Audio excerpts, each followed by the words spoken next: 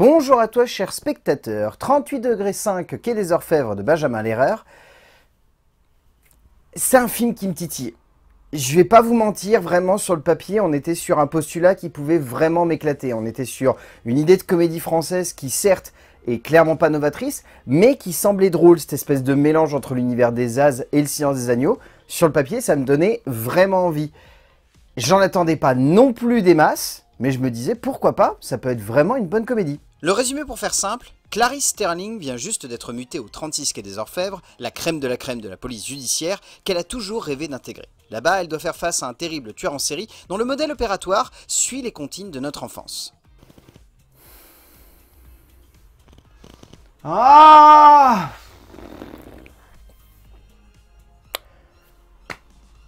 Il n'y a rien qui a été compris. Ça me fout en l'air. Mais Benjamin Lerreur, il a, rien compris à comment faire un film dans l'univers des As. Euh, c'est une comédie qui a une bonne idée de base, vraiment. Je tiens à saluer l'envie de vouloir faire un projet qui soit aussi délirant au sein d'une comédie française qui a tendance à vouloir plus jouer sur des dialogues que vraiment une forme graphique. Je salue l'idée, je salue l'envie, je peux pas saluer le geste. Le geste est complètement à côté de la plaque, les vannes sont souvent très lourdingues, c'est à base de jeux de mots qui sont extrêmement poussifs et qui ont tendance à être répétés jusqu'à l'extrême.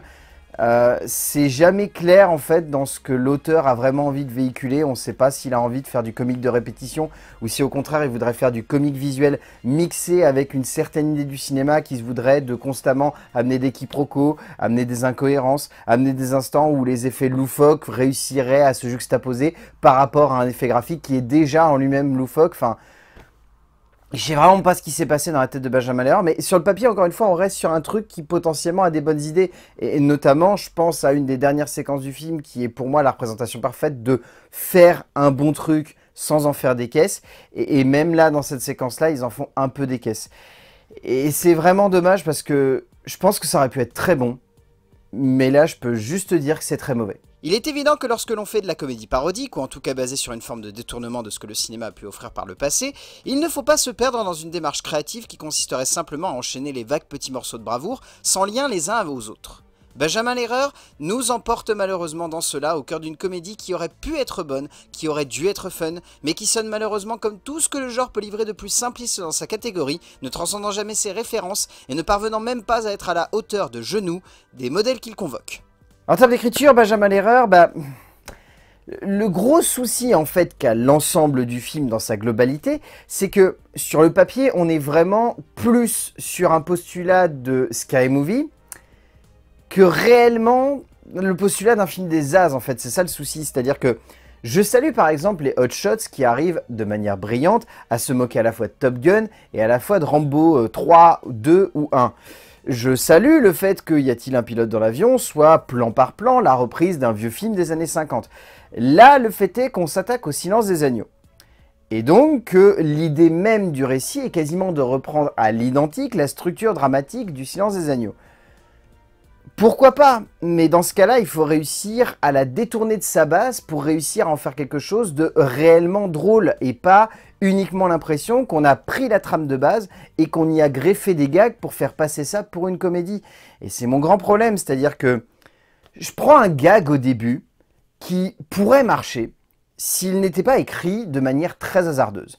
Le personnage principal est à un café. Elle passe un coup de fil et derrière elle, il y a un braquage. Et elle se rend pas compte du braquage parce qu'elle est au téléphone. Et on lui fait signe. Et à la fin, elle est supposée aller quasiment arrêter deux personnes parce que genre ils ont pas de casque en fait. Alors que c'est les braqueurs qui portent des masques. Et en soi, le gag pourrait être drôle. Mais ils vont pas jusqu'au bout, en fait. Et j'ai l'impression que c'est constamment ça. Il y a des idées, il y a des postulats de vannes, il y a des bases où il y a des effets. Et les vannes ne sont pas emmenées dans la direction la plus cohérente, en fait. Soit elles sont déjà présentes à l'écran et du coup, elles ne nous semblent pas finalement drôles.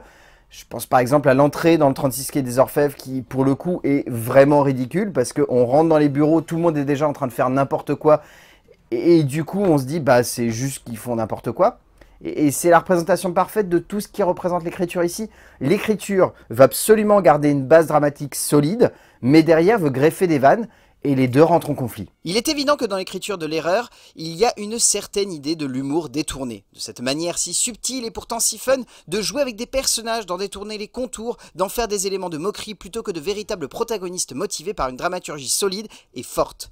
Mais, si on ne crée pas un pilier sur lequel peut se reposer le spectateur, ce qui est souvent le cas dans les films des As, le tout plonge, et en faisant de Clarisse une héroïne constamment en décalage par rapport aux situations, la crédibilité du récit semble détourner de sa base, et donne simplement lieu à un moment où tout le monde est à côté de la plaque, et du scénario par la même.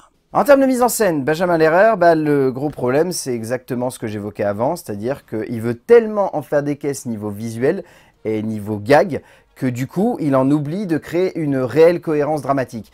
Alors, certes, il y a encore une fois de l'idée, et je salue le fait que par exemple, le récit arrive à, aller d'un point A à un point Z en suivant parfaitement à l'identique la structure dramatique du Silence des Agneaux. Donc ça, c'est indéniable, c'est une réussite. Mais c'est une réussite au détriment d'une palanquée de gags visuels qui vraiment ne fonctionnent, mais pas du tout, sont à la ramasse, n'arrivent même pas à avoir, on va dire, une certaine cohérence par rapport à ce qui doit être montré ou à l'humour qui doit être représenté. Je pense à Au Top Chef, qui sur le papier est l'un des gags les plus drôles du film. Il est trop extrême, il va trop loin, il en fait trop des caisses, et du coup, la vanne ne marche qu'en tant que vanne. Elle ne fonctionne pas en tant que détournement. Elle fonctionne en tant que sketch. Sauf que en tant que sketch, au bout d'un moment, on trouve la vanne plus très très drôle. On trouve le personnage drôle. Mais la vanne en tant que telle, le sketch qui entoure le personnage n'est pas drôle. Il n'arrive pas à amener l'humour jusqu'au bout. Et il y a plein de scènes comme ça qui sont parfaitement dans la représentation de cette idée de vouloir créer un gag, mais de ne pas aller jusqu'au bout. Je pense à une journaliste qui va à moitié draguer un agent de police, et puis lorsqu'elle va se rendre compte que l'agent de police, bah, il a rien à lui donner comme info, elle va se tourner vers le personnage principal et va commencer aussi à la draguer. C'est une bonne idée, mais il n'y a pas de finalité. La vanne, elle est là, elle est juste sur l'instant, et il n'y a rien d'autre. C'est le problème de ce film. Créer un gag, c'est pas uniquement balancer une vanne, point barre. C'est lui donner une chute. Et c'était le grand travail et la grande prouesse des As, et c'est pas la grande prouesse de Benjamin Lerrer ici. L'erreur compose avec une base visuelle qui aurait pu sonner comme fun si les gags n'étaient pas tout le temps surlignés par une esthétique et une mise en scène qui ne cherchent jamais à sonner comme intense, comme fidèle à ses modèles, mais simplement comme un bon moyen de constamment amener du décalage. On peut saluer une série de vannes par-ci par-là qui réussit à nous emporter dans le délire comique de l'auteur, mais on ne peut se voiler la face lorsque l'on voit que la majorité des blagues est constamment appuyée par des dialogues, par des angles de caméra qui ne cherchent pas à jouer avec l'arrière-plan, avec des jeux de profondeur, mais simplement en montrant tout tout le temps sans jeu avec nous. En termes de casting, celui-ci, bah, en soi, les acteurs sont pas trop mal, mais ils brillent pas plus que ça. La faute à des personnages qui sont vraiment survolés. Didier Bourdon est drôle, c'est indéniable. Il a euh, un vrai charisme comique, et je trouve qu'ici, dans le rôle d'un super flic, il est vraiment bon. Euh, je trouve que Yann Papin, par exemple, dans le rôle de Bénard, il y a un petit quelque chose. C'est pas extraordinaire, mais il y a une bonne série de gags, et je trouve que ça fonctionne bien. Artus, porte hyper bien le rôle du médecin légiste. Je trouve vraiment qu'il a une bonne carrure et qu'il arrive bien à emmener le personnage. Euh, Pascal Demolon dans le rôle de Movic, je l'ai trouvé drôle. Il arrive très très bien à jouer le Hannibal Lecter de seconde zone, hyper euh, obsédé par le sucre. Euh, et après, Frédéric Bell, Karine Ribert, Thierry Desros, Steve Tran, Vincent Deniard, Hemingway. Enfin, les acteurs s'en sortent bien, mais brillent pas plus que ça. Et mon grand défaut, c'est l'actrice principale qui, en soi, pourrait vraiment dégager quelque chose de vraiment décalé et de drôle et d'amusant en restant hyper sérieuse du début à la fin.